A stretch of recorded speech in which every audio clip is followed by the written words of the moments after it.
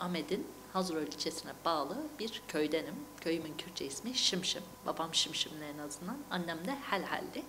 Helhel'den herkes e, Dayike Sano'yu bilir. Ben de Sano'nun torunuyum.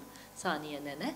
E, zaten bizim ailenin tümünün mücadeleyle tanışması onunla olmuştur. Şu an işte Ahmet'te hangi sokağa gitseniz Sano deseniz onlar onu tanırlar. Yani Saniye'yi tanırlar. O beni bununla tanıştırdı ta küçük yaştan beri. Ama zaten sanıyorum o olmasa bile devlet tanıştırırdı bizi. Ee, köylerdeki o operasyonları ben küçükken en azından oralardan hatırlıyorum. Ee, her bir köyün yavaş yavaş yerin dibine sokulmasını e, izlemek durumunda kalmıştım. Ardından ailem, işte köyde yaşayan ailem merkeze taşınmışlardı bağlara, 90'lar. Bu dönemde bu Hizbullah katliamlarına şahit olduk. Zaten sokakta sanıyorum ilk cenazeyi o zaman görmüştüm. 8 yaşındaydım, bağlardaydım, o zaman görmüştüm. E, tabii hem şiddeti görünce şiddetin diğer tarafında bu şiddete direnen insanları da görüyorsunuz. Bu şekilde ben de tanımış oldum. E, ben 2015 yılında tam işte HDP'nin meclise girmesiyle bir Kürt Partisi'nin ilk defa parti olarak seçime girerek e, meclise girmesiyle ben de dahil oldum. Siyasi olarak dahiliyetim oradan başladı.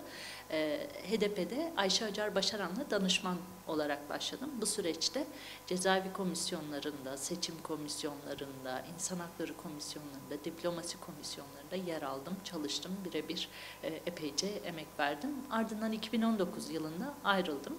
2019 yılında e, uluslararası insan hakları örgütlerine araştırma danışmanlığı yapmaya başladım. Bu araştırma danışmanlıklarının e, dahil olduğu konular e, çevre hakları, kadın hakları, e, gözaltında işkence ve kötü muamele, aynı zamanda siyasi temsil hakları, insanların siyasi örgütlenme özgürlüklerine yönelik baskılarla ilgili raporlar hazırladım. Benzer şekilde yine deprem bölgesine gerçekleşen hak ihlalleriyle ilgili de son çalıştığım rapor buydu. Ee, bu konuları çalıştım. İnsan hakları alanında sanırım daha deneyimliyim diyebilirim. Türkiye açıkçası iki parçaya bölünmüş gibi görünüyor.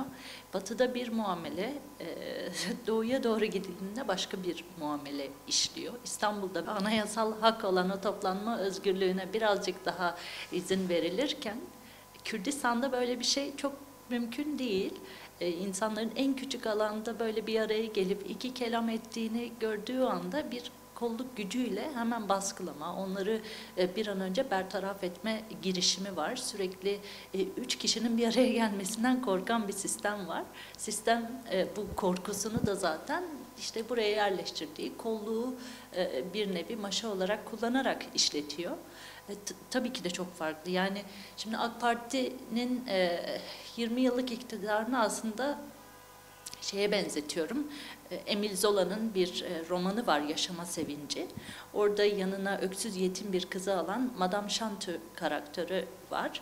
Bu karakter e, bu yetimin parasını yiye yiye yiye yiye ama aynı zamanda ona yüzünü güzel göstere göstere devam ediyor. Ta ki bütün iliğini sömürene kadar. İliğini sömürdükten sonra da ondan nefret etmeye başlıyor. Ondan aldıkları sebebiyle ondan nefret etmeye başlıyor. Birazcık oraya döndü. Yani 2011-2012'den sonra bir yüzü değiştiren, e, Jekyll and Hyde gibi böyle çift kişilikli bir şeye dönüşen, e, korkunç suratını gördüğümüz bir şeye dönüştü ne yazık ki.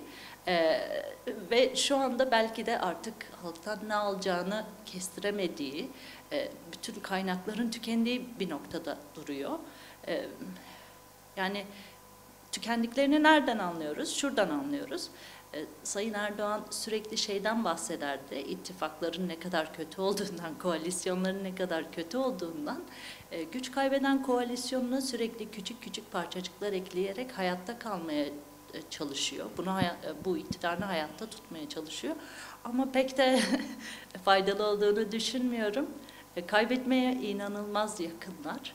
Ee, ve birazcık balon balıkları gibi kendilerini şişirip güçlü görünüyor olabilirler ama hala o mevcut güçlerini koruduklarını düşünüyor olabilirler ama kesinlikle öyle değil. Zafer gerçekten çok yakın. Onlar e, sandıkları kadar çok kişi değiller ve biz de sandıkları kadar az değiliz. Gerçekten çokuz. Sadece birazcık sesimizi çıkarmamız lazım. Birbirimizi duyduğumuzda zaten ne kadar kalabalık olduğumuzu anlayacağız.